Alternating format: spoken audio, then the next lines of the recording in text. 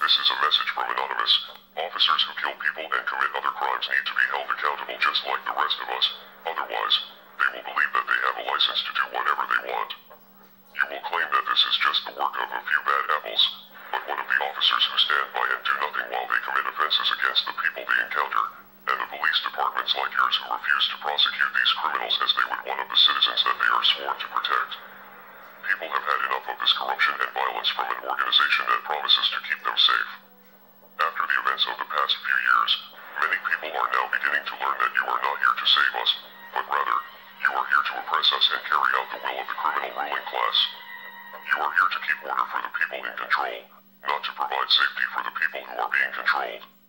In fact, you are the very mechanism that elites use to continue their global system of oppression, and the world is finally starting to wake up to this, and they are becoming angry every time they see blood needlessly spilled without consequence. These officers must face criminal charges, and Officer Chauvin especially should face murder charges. Unfortunately, we do not trust your corrupt organization to carry out justice, so we will be exposing your many crimes to the world. We are Legion. Expect us.